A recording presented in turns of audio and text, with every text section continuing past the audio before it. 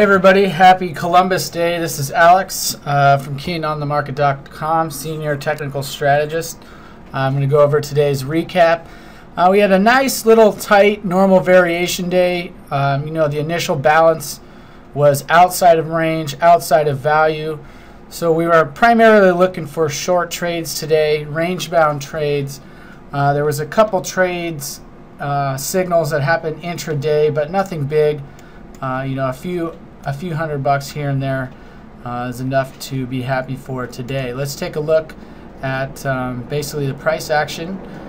We opened down here around 1450 and change. We traded down, bounced right out this 1448.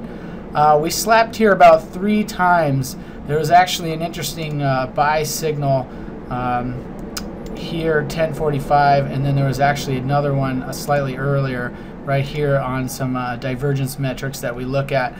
Uh, the afternoon got really slow, so I was just kind of uh, hanging out, not really looking for too much trading. Uh, we actually rallied and looks like we stopped out a, um, a bunch of short traders above the high.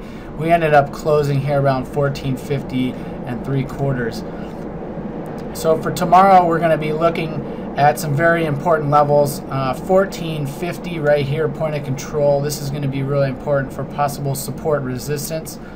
Uh, 1451, this is the value area high, value area low.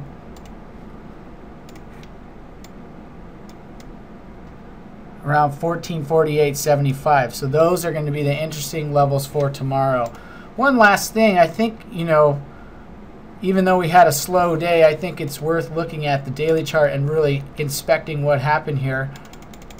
Uh, we had this nice big long doji candle here on Friday, and we actually had a bearish engulfing candle. Actually, this is more like dark cloud cover, but uh, you can see that the uh, range of today was actually bigger than the range or the uh, body candle of Friday. So again, testing this upward sort of trend line region, um, sort of a double top. This 1460 on the S&P, it doesn't seem like the market really wants to get up and above there. We haven't seen confirmation here on a on a on a major top. I think we're gonna you know be kind of stuck in this range for um, you know a few more weeks. So uh, going forward, you could see that we could get a little bit of weakness, but overall the trend is to the upside. Breadth indicators are also quite strong, so it kind of fits with uh, market making a few more um, attempts to break the higher highs.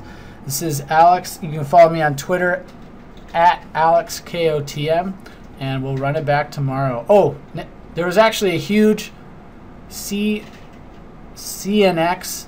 There was a huge put seller today, three times uh, 89,000 puts sold three times in three different strikes today. So take a look at that.